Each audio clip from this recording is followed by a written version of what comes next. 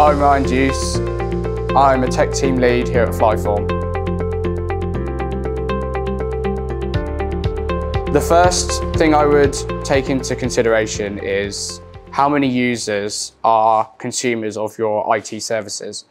If it's a large number of users, we need to be thinking about how much automation we can be doing, how many um, instant deflections we can do by the way we set up the portal, building out a knowledge base, for example, um, and making that portal experience as consumer grade as we can make it, just to enable those users to find the information that they need without having to ask an agent. And the more users you have, the more important that is because otherwise your teams can't work effectively on those difficult problems that they need to focus on. So size of user base is very important. What I would also look at is who is the provider of your service desk. So first line support, are they internal to the organization? Are they external? Have they been looped into discussions? Have they got any expertise that they are currently using today that we would like to ingest into ServiceNow, whether that's accounting for ticket routing um, in your business services, whether that's writing out knowledge articles to allow incidents to be resolved quicker. Make use of that knowledge that you already have um, within those, those agents um, and get that into ServiceNow into reportable and searchable knowledge and, um, and service layer information.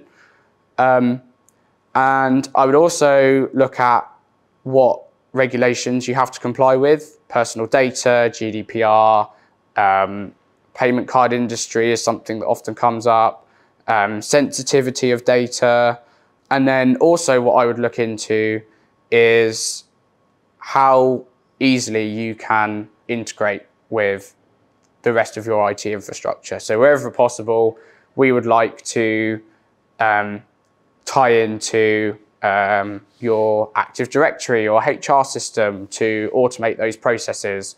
We'd like to get a register of assets and laptops and servers and other pieces of infrastructure that you're actually going to be working with and who keeps those up to date and are they accurate and are they trusted? So source data is incredibly important. We need departments, groups, users, um, reporting lines, if line managers need to approve, um, cost centers possibly, although that's not so common in, in an ITSM implementation. So foundation data is really, really key. Um, it may be that two different executives have a different idea of what department structure you have, and so you don't end up reporting in the correct way on departments. Um, having that foundation data in from the start is really critical to make sure that the data that comes out of ITSM is trusted and accurate and reliable.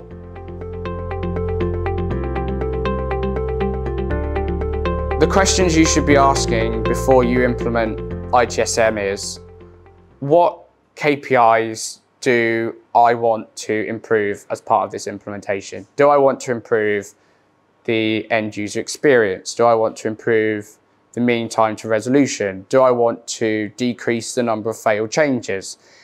If you have those ideas in your head before you go into those workshops, you will be able to align every decision you make to those end goals and it will keep you on track and make sure that you're not adding bells and whistles that you don't need.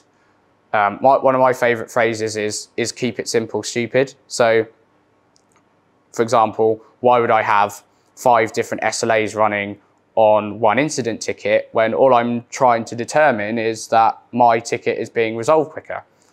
So keep every decision down to those essential KPIs that you decide at the start, and then those will be the KPIs that improve at the end. It's that simple. You've already got an ITSM implementation in, you're looking at everything that's going on. You've got your incidents, you've got your problems, you've got your changes, you've got your requests. All of that data is sat there. in ServiceNow. It's a single system of record. You can report on any of it. Go in and have a look. Go and have a look at what's going well, what's not going well. Um, what are people raising incidents for where they could be raising requests? Is there a potential for automation there?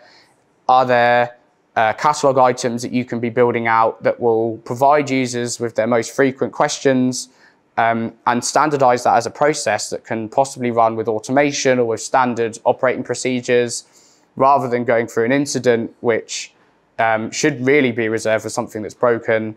Um, start thinking about improvements you can make around um, the data that you've already got in. And something else you can do to really elevate your existing ITSM implementation is start thinking about where your agents are having pinch points. So do they have to swivel chair into a different system? Do they have to go and execute this piece of script on a, on a server to reboot it? Um, are those repeatable, understanded um, actions that you can bake into an automation or a process and lift that manual repetitive task away from agents to enable them to focus on the big issues. If I had an existing ITSM implementation, the questions I would be asking is, what's going well today? Let's keep doing more of that. What I would also ask is, what could we be doing better? I've got all this data sat around in ServiceNow.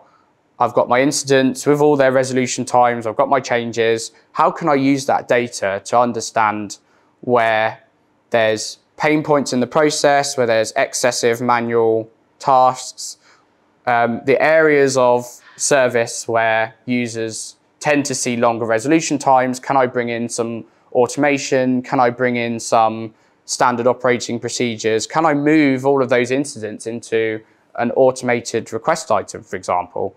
And that would then see my mean time to resolution come down, um, improvements to service for those end users, and it, all, it would also show those users that we know what they need because we're surfacing those services that they ask for the most. So um, with an in existing implementation, can I see where those pain points are and can I build out my service catalog and build out my automations to improve those.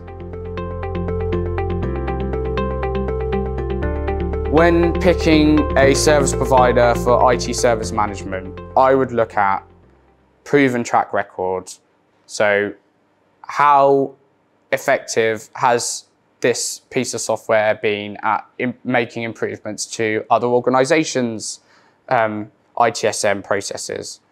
Um, I would look at the ability to report on the effectiveness of ITSM. So is there a single system of records that you can pull all the data out from users, groups, departments, um, instance problems, changes, requests, and report on that all in one dashboard um, and have that single system of record to really dig down into the, the success of your implementation. I would think about the security of your tool. So there's uh, multi-tenant architectures out there where all of your data is mixed in with other people's and um, you know it's not nearly as secure as a standalone application stack which you own, you control the perimeter of, and you have complete control over that data model and you know that there's no other considerations that you have to think about in a multi-tenant model. And finally, I would think about the best end user experience. So how does your user interact with your ITSM tooling? Does it look pretty? Is it easy to use? Is it consumer grade? And what tool does that the best? Flyform and ServiceNow together is a special combination because you've got a team with incredibly talented ServiceNow consultants from Flyform. You've got the best-in-class tool from ServiceNow that beats every other um, IT service management tool out there in submission. There's just no comparison. And when you've got A players from Flyform coming in uh, with the knowledge of all of those tools and features that ServiceNow offer, we can deliver that value incredibly quickly. And a lot of our ITSM implementations are lightning fast because we are confident that we can come in and deliver that value incredibly quickly. But that's because we've got amazing talent within Flyform working on the best in class tool, and it's just a magical combination.